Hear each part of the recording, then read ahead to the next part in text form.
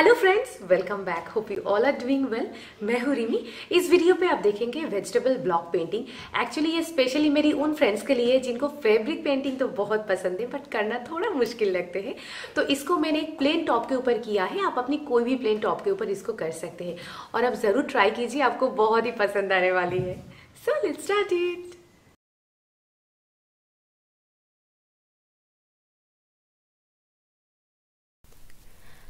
सबसे पहले ऐसे भिंडी को कट कर लेना है। ऐसे इस तरीके से छोटी सी फ्लावर बन जाएगी। कलर के और कलर के लिए ये देख सकते हैं ये एक्रेलिक कर कलर ये हैं या है फिर फेविक्रिल फैब्रिक की कलर का और ये दूसरा ये है फेविक्रिल की फैब्रिक कलर आप और कोई भी कपड़ों के ऊपर यूज़ कर सकते हैं। ऊपर पेंट करना चाहते हैं तो पार्ल और ये पाल आप मेटालिक कलर ये भी मार्केट में बहुत इजीली आपको मिल जाएगी। तो इस तरीके से होगी हमारी डिज़ाइन तो देखिए यहाँ मैंने थोड़ी सी कलर ले लिया है। और इसको अच्छे से ऐसे प्रेस करें और सबसे अच्छा होगा आप इसके दाने को निकाल दीजिए। ये सबसे अच्छा ऑप्शन रहेगा। देखिए, दाने की वजह से ये क्या हो रहा है। आप दाने को अच्छे से निकालेंगे ना तो ये फ्लावर इस तरीके की होगी।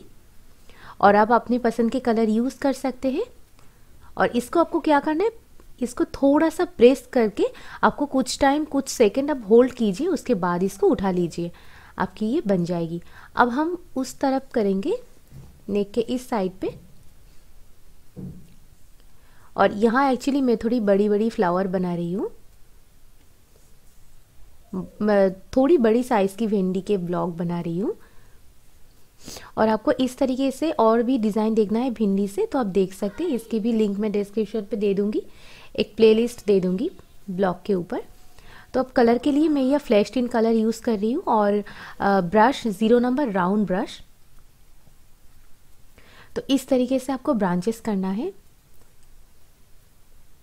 और मैं आपको बोलूँगी कपड़ों के ऊपर कलर के लिए आप फैब्रिक कलर यूज़ करें वो ज़्यादा अच्छा होता है। ज़्यादा लॉन्ग लास्टिंग भी होता है। और आ, कलर करने से पहले इसके नीचे कोई थिक पेपर रख सकते हैं कार्डबोर्ड रख सकते हैं या फिर आप वो फ्रेम का भी यूज़ कर सकते हैं। बट फ्रेम से मुझे थोड़ी सी अनकंफर्टेबल होती है, इसलिए मैं यूज़ नहीं करती हूँ बट आप कर सकते हैं। तो इस तरीके से यहाँ पर भी होगा। और ये एक्चुअली मेरी एक पेपलम टॉप है, और ये सिर्फ़ एक मीटर से ही बनाया मैंने। आप कोई भी टॉप के ऊपर इसको बना सकते हैं।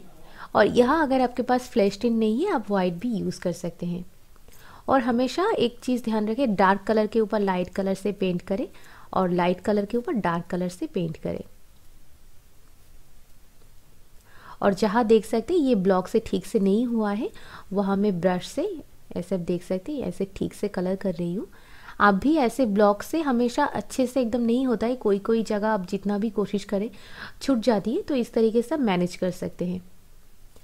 और यहाँ मैं एंगुलर ब्रश यूज़ कर रही हूँ फ्लैट ब्रश भी यूज़ कर सकते हैं लीव्स के लिए। ये मैं सैप ग्रीन कलर यूज़ कर रही हूँ।